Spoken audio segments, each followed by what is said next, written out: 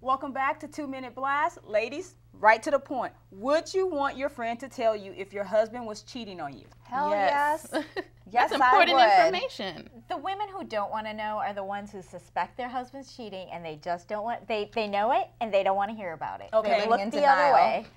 Why you? Uh, I want to know if my husband's cheating. I would be furious if my like one of my best girlfriends knew my husband was cheating and didn't tell me because that's that's friendship loyalty. Right. The only know. reason why she wouldn't tell you is if she's the one cheating with him. Exactly. That's what I was just about to say. I was waiting for that. I mean, how would she know that he's cheating? I mean, well, you could see someone doing something. You, she could know the other woman, but he's Maybe not she a good saw cheater him then. somewhere. exactly. He's Oh well, come on. A lot of men are. kinda- everyone gets. I don't know. You have to about wonder Not about all her motives. Like, caught, you yeah. know, why why is she telling me this? Okay. Is it because she's involved somehow? But if you know she's not, then a good friend would give the information. If she has happened to see something, Now, as She ladies, you know you're lying because you know how it is when a woman comes We to you and lie. tell you something about your man, you don't believe it. No. 'Cause she tells you in the beginning before you get married, don't marry him, he ain't no good, and you do not listen.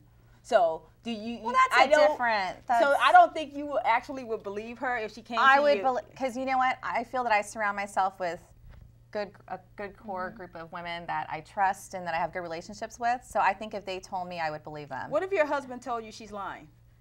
Well, you know what? I maybe I'd believe him for a minute, and then I'd be checking his texts. I'd be checking his voicemail. Well, you should be checking doing that emails. anyway. You know what? That's unhealthy if you're, you're doing it constantly. There's got to be a level. You level. don't do it of- of constantly. Just mark it on your calendar once a month.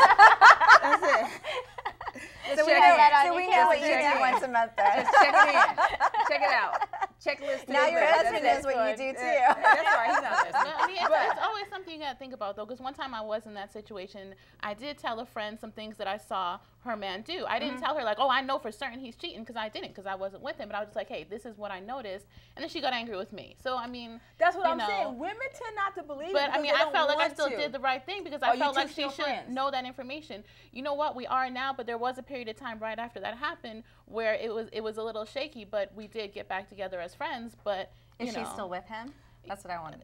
They've since broken up. Well, ladies, we have to move on. Thank God they broke up. Okay, stay with us. We have more coming up um, with Every Way Woman.